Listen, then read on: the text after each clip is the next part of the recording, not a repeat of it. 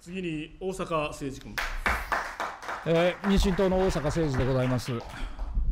えっと、まず大臣、今朝の段階でちょっと急遽通告をさせていただきましたけれども、この件についてあの見解をお伺いいたします。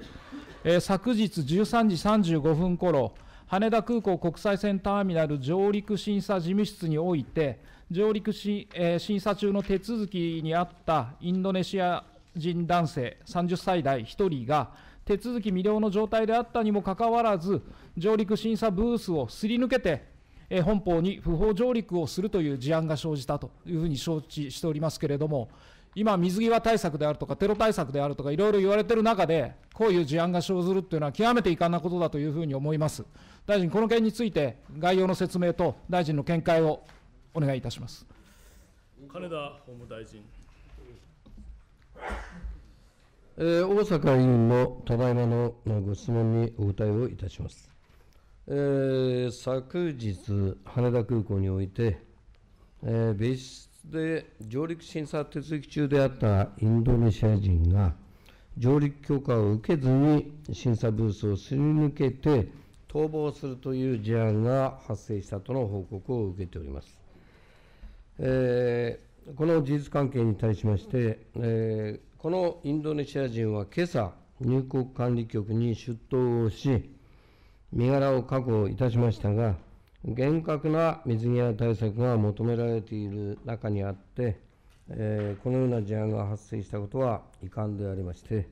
再発防止を徹底するように入国管理局に指示をいたしております。以上が、えー、ただいまのご質問に対する、えー、私の答弁であります。大阪誠二君。大臣ですね、これ、あのまあ、共謀罪の議論、いろいろしてますけれども、あのテロ対策を考える上で、これ、水際っていうのは非常に大事なことであります。で、今回のことについては2つの問題があるんですよ。1つはですね、まず、入国審査の段階で、これは何かおかしいなと思って、別室へ連れて行って、そこで再度の審査をしようとしていた。ところが、そこで待っている間に、そこから出てしまったっていうこと、これ1つの問題です。それからもう1つの問題は、今回のインドネシアの方は、入国審査をしているその係官の目の前、そこを堂々と通って出て行ってるってことなんですよ。それはどうも事情を聞きますと、具体的に確認しなければなりませんけれども、あまりにも堂々と通っていったものですから、周りの人も気がつかなかった。こんな体制になっているっていうのは、これはどう見ても私は気が緩んでいるとしか思えない。国会で今、テロ対策だ、共謀罪だって議論しているにもかかわらずですね、大臣、これはがっちりと対策対応を講じていただきたいし、単純にこの遺憾であるなどというものではないというふうに私は思いますので、大臣、これ、がっちり肝に銘じてやっていただきたいと思います。以上、これは申し、これ以上、あの私の今日の質問の時間が足りないもんですから。それでは次に、今日はあの警察庁からも来ていただいておりますが、警察庁にお伺いします。えっと、警察部門の中には、公安部門というのがあると承知をしておりますけれども、公安部門の仕事について、概略説明いただけますでしょうか。警察庁、白川長官官房審議官。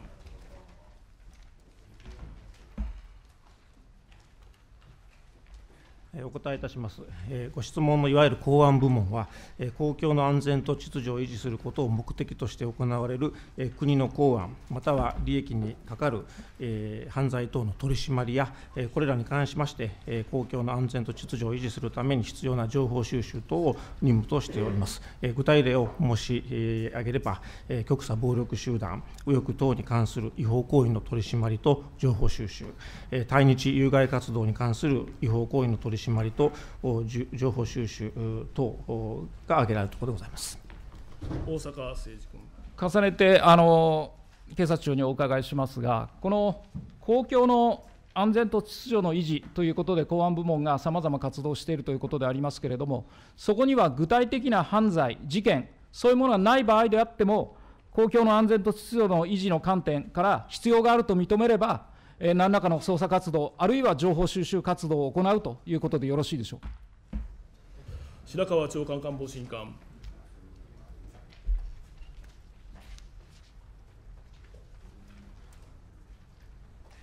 お答えいたします。えー警察におきましては、えー公共の安全と秩序の維持の観点から、さまざまな情報収集をお行っておるところでございます。また、具体的な嫌疑等があれば、それは刑事訴訟法に基づいて、えー捜査あ等されることになろうかと思います。大坂誠二君。必ずしも私の質問に正確に答えていただいてないんですが、えー具体的な事件、事故、そういうものがない場合であっても、えー現在の公共の安全と秩序の維持の観点から、えー何らか必要があると認めれば、えー公安部門として情報収集の活動を行ったりするんですかということを私は聞いてるんです。白川長官官房審官。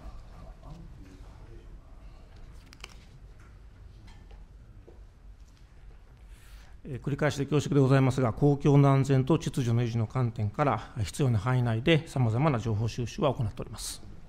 大坂誠二君。ということは、えー事件、事件事故がありありなしにかかわらず、必要なことをやるというふうに私は理解せざるを得ないのでありますけれども、それでよろしいですか？うなずいてもいただけませんし、首を横にも振ってもいただけないんですが、いかがですか、もう一度ご答弁ください。白川長官官房審官。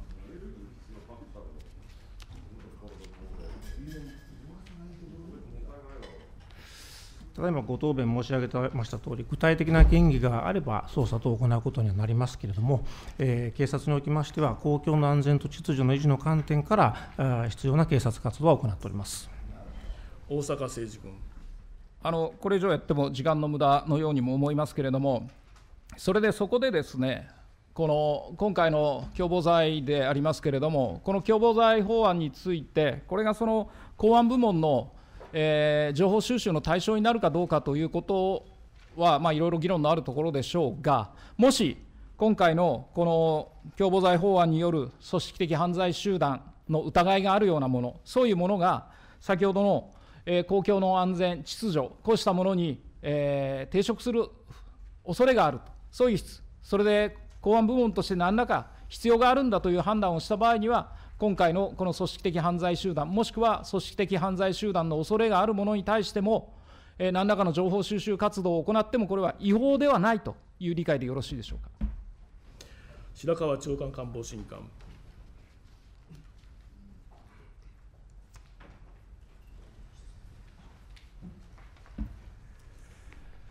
私どもの、組織的犯罪集団に当たるかどうかという観点での情報収集というよりは、今申し、ご答弁申し上げましたとおり、公共の安全と秩序の維持の観点から、必要な範囲で、警察活動を行うことはあるということでございます。大坂誠二君。あの繰り返しますけれども、公共の安全と秩序維持の観点から、えー必要があれば、それは組織的犯罪集団、もしくは組織的犯罪集団と思われるようなものについても、何らかの情報収集活動をしても違法ではないと、必要があってやることであるから、それは違法ではないという理解でよろしいですね。白川長官官房審官。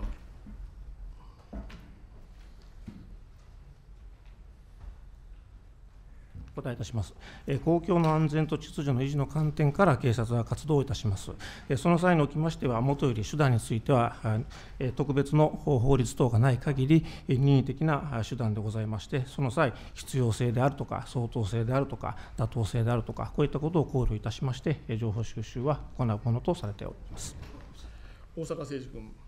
あの私、ここで無理に決めつけるつもりはないのでありますけれども、あの公安部門においてはです、ね、具体的な事件、事故がない場合であっても、この公共の安全と秩序維持の観点からです、ね、必要があると思えば、情報収集活動をしているということだと思います。で加えて、今回、この共謀罪という新たな犯罪の類型ができる、そのことによって、えー犯罪の、まあ、範囲がこう広がっていくわけですね。その際に、まさにこの公共の安全秩序維持の観点から必要があると思えば、この組織的犯罪集団、もしくは組織的犯罪集団かもしれないという団体についてもですね、さまざま情報収集活動を行うことは、公安部門としては可能だというふうに整理をさせていただきたいと思いますが、よろしいですね。白川長官官房審議官。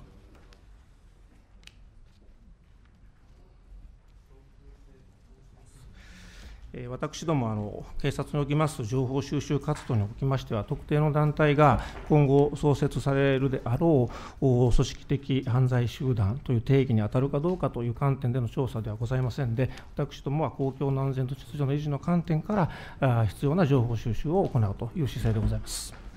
大阪誠司君。あの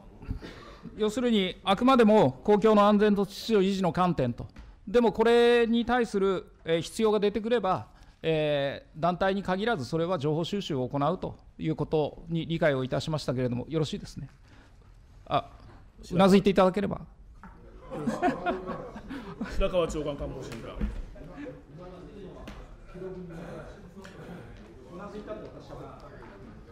繰り返しでございますが、公共の安全と秩序の維持の観点から、警察は必要な範囲で、えー、活動を行うということでご理解いただければと思います大阪誠司君。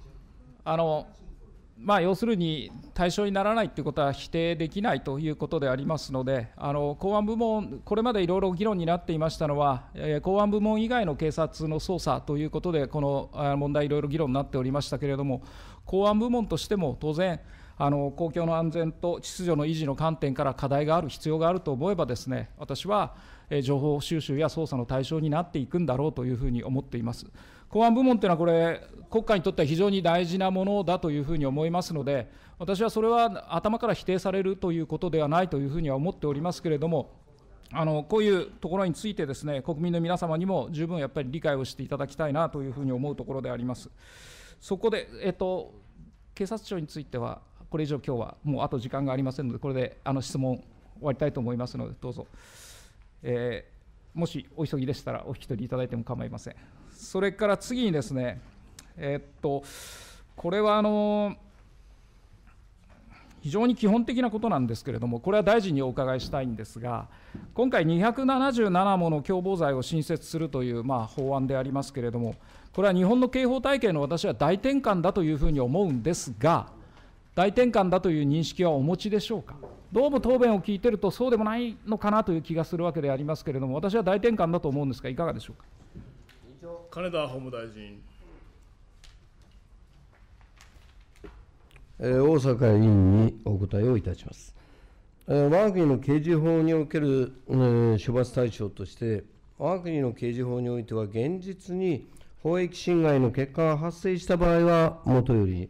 いまだそのような結果が発生していなくても、その危険性のある一定の行為について、密違反等として処罰することとしておりますほか、特に重大な犯罪や取締りに必要がある犯罪につきましては、予備罪、あるいは共謀罪といった実行の着手前の行為をも処罰することとしているわけであります。そして、テロ等準備罪の処罰対象でございますが、テロ等準備罪は、すべての犯罪の計画行為を広く一般的に処罰するものではなくて、組織的犯罪集団が関与する一定の重大な犯罪の計画行為に加えて、実行準備行為が行われた場合に限って処罰の対象とするものであります。し、このように組織的犯罪集団が関与し、一定の重大な犯罪の計画行為に加えて、実行準備行為が行われた場合には、その計画された犯罪が実行される可能性が高い上に、ひとたび実行されると、重大な結果や莫大な不正利益が生ずることが多く、特に悪質で違法性が高く、未然防止の必要性が高いことから、実行の着手前の段階であっても、処罰する必要性が高い。このように認められるものでありまして、えー、ただいまのご指摘は当たらないものと考えております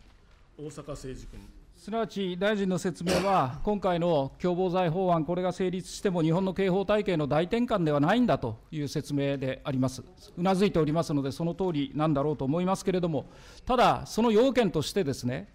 組織的犯罪集団が関わるかどうかだっていうところが一つの大きな要件で、すべての人が対象になるわけではないんだから、大転換ではないんだということも事務方から聞かせていただきました。でも大臣、私は、だからこそですね、われわれはいわゆる大臣の言うところの組織的犯罪集団に関わりのない方々、この方々が今回のこの共謀罪法案が成立した場合に、捜査や調査や、あるいは検討、それらの対象になるのかどうかっていうところをですね、やっぱり重きを置かざるを得ないんですよ。組織的犯罪集団が関わる、だからこれはあの刑法体系の大転換では必ずしもないというふうに判断をしているというふうに皆さんは思っているのかもしれないけれども、国民から見ると、やっぱり大臣が言うところの組織的犯罪集団に関わりのない方々も、もしこの疑義がある場合に、何らかの調査や検討の対象になるということであるならば、やっぱり私はこれは刑法体系の大転換であると、だからこそ我々は一般の方々というところにこだわっているんだということを申し上げて、時間が来ましたので終わりたいと思います。午後1時から委員会を再開することとし、この際、休憩いたします。